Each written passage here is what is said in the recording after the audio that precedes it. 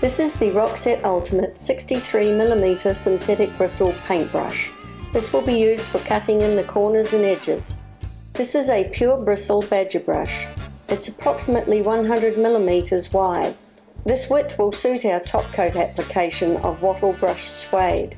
The area has been prepared for the application of Wattyl interior design features and effects brush suede. Make the cut in about 75 to 100 millimeters wide in the first application of Wattyl brush suede, applying an even thickness with each pass. It is a thicker product and will hold any high build you make, accidentally or otherwise. Once you have cut in corners and edges with the paintbrush, follow over it with the Roxette Pro Fabric Mini Roller. This is to give it the same texture as the larger roller when it is used. Roll on the Wattyl brush suede with the larger roller. Only cover about a square metre at a time when working with this product. Work it in any which way. Roll into the already painted areas to ensure the same texture. Roll off in one direction ensuring an even coverage. Wattyl brush suede dries patchy, but that's part of the look. You can apply your second application the moment it is dry. This first coat will look shy of paint when it dries. Do not be concerned, the second coat marries it all together, giving complete coverage.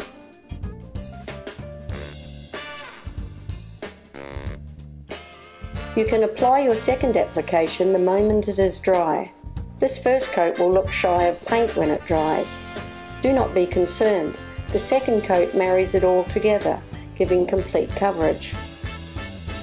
With the Pure Bristle Badger brush, fill 20% of the brush with paint and at approximately 200 millimeters apply it from the corner and push it up to the edge then hook to the left.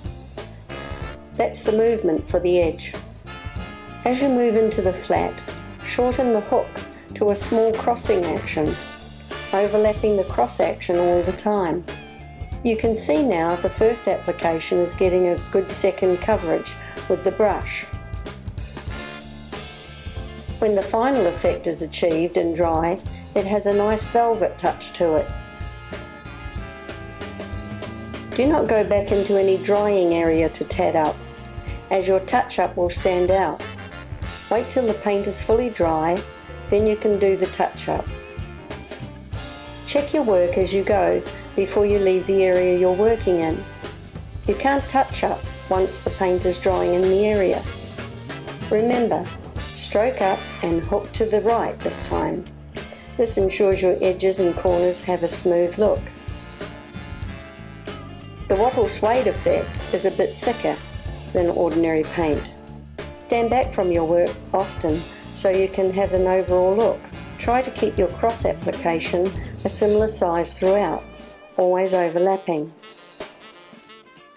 Later, this edge will be covered with a timber dado line.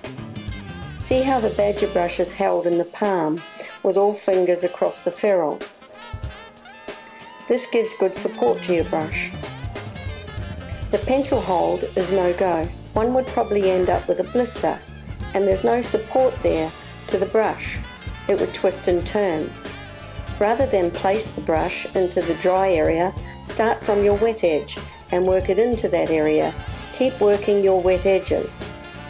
Don't let them dry out on you. This Badger Pure Bristle brush is made in America and has a 4 inch stamp on the ferrule. 4 inches is just over 100 millimeters. There will be slight texture showing the direction of the cross applications. That's all part of the look. This is the Wattyl brush suede in another colour. It has been applied with a larger brush in a scallop effect. The scallop effect is still applied with an overlapping technique.